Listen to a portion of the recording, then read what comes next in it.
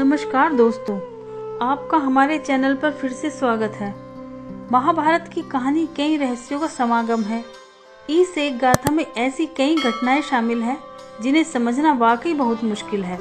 महाभारत में कई ऐसे योद्धा या पात्र रहे, जिनका जीवन उनके पूर्व जन्म के कृत्यों पर आधारित रहा है। जैसे भीष्म पितामह पाँच वसुओं में से एक थे।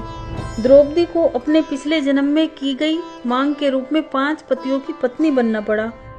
कर्ण अपने पूर्व जन्म में राक्षस थे। ऐसे ही अनेक पात्रों के बीच एक और पात्र थे, धृतराष्ट्र, जो जन्मांध थे। लेकिन जब उन्हें यह पता चला कि उनकी पत्नी गांधारी को सौ संतानों को जन्म देने का आशीष है तो उनके अंधेपन का दुख मिट गया। धृतराष्ट्र के सौ पुत्र और एक पुत्री हुई। कुरुक्षेत्र में उनके सौ पुत्र मारे गए। जिनका संबंध उनके पिछले जन्म से था।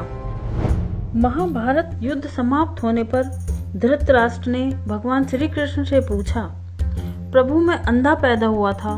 मेरे सौ पुत्र मारे गए। भगवान, मैंने ऐसा कौन सा पाप किया है जिसका दंड मुझे मिल रहा है? आपने अर्जुन से कहा था, जो हो रहा है वह कर्मों का फल है। मेरे अंधे होने का और सौ पुत्रों के मारे जाने के पीछे क्या कारण है? कृपया मुझे बताइए। भगवान श्री कृष्ण ने कहा, महाराज धृतराष्ट्र, आपने उचित ही सुना था। कर्मों का फल भोगना ही पड़ता है। उससे किसी को छूट नहीं है। राजा और समर्थवान लोगों को कर्मों का दंड विशेष रूप से भोगना पड़ता है। ईश्वर उन्हें समर्थवान बनाते हैं तो उनसे ज़्यादा जिम्मेदार होने की आशा रखते हैं। महाराज, आप इस जन्म में भी राजा हैं, पूर्व जन्म में भी राजा थे, पर आपने कई पाप कर्म किए हैं। धृतराष्ट्र आधीर हो गए। वह बोले, केशव, इस जन्म में जो किया है, वह मेरे सामने है, पर पूर्व जन्म का रहस्य जानने का उत्सुक हूँ। कृपया वह रहस्य खोले। ऐसा पाप कौन सा था जो मैं अंधा भी हुआ और सौ पुत्र भी गवाए? भगवान श्री कृष्ण ने धृतराष्ट्र को पूर्व जन्म की कहानी बताना प्रारंभ किया और बोले, महाराज, पिछले जन्म में भी आप एक राजा थे। आपके राज्य में एक तपस्वी ब्राह्मण रहते थे। ब्राह्मण के पास हंसों का जोड़ा था, जिसके चार बच्चे थे। ब्राह्मण को उन हंसों से अपने संतान के जैसा लगाव था। एक बार ब्राह्मण को तीर्थ स्थान पर जाना था, लेकिन हंसों की चिंता में वह जा नहीं पा रहा था। उसने अपनी चिंता एक साधु को बताई। साधु ने कहा, हे ब्राह्मण, तीर्थ में हंसों को बाधक बताकर हंसों का अगला जन्म खराब क्यों करते हो? राजा प्रजा पालक होता है।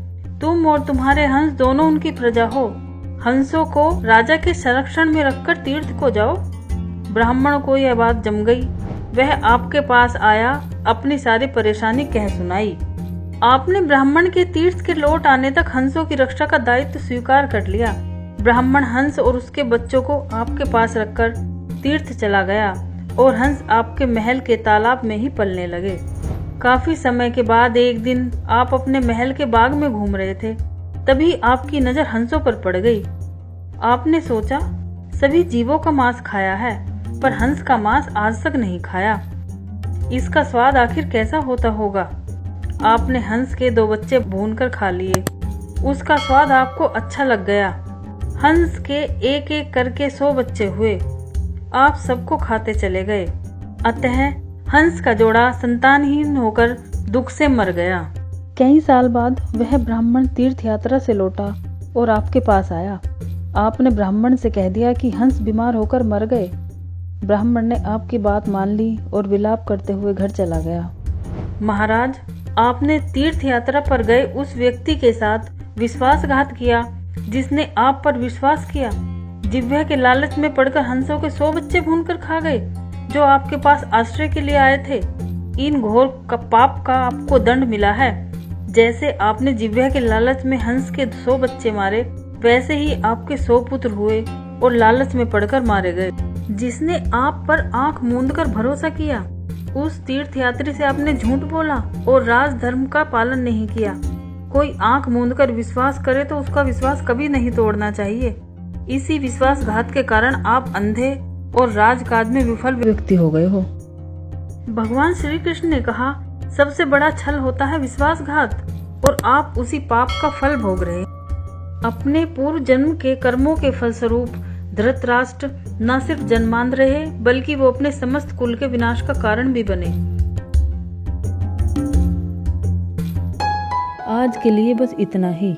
यह अध्याय आपको कैसा लगा हमें कमेंट बॉक्स में ज़रूर बताइए।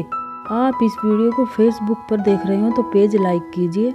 और यूट्यूब पर देख रहे हो तो हमारे चैनल को सब्सक्राइब कीजिए और अपने दोस्तों के साथ शेयर करिए।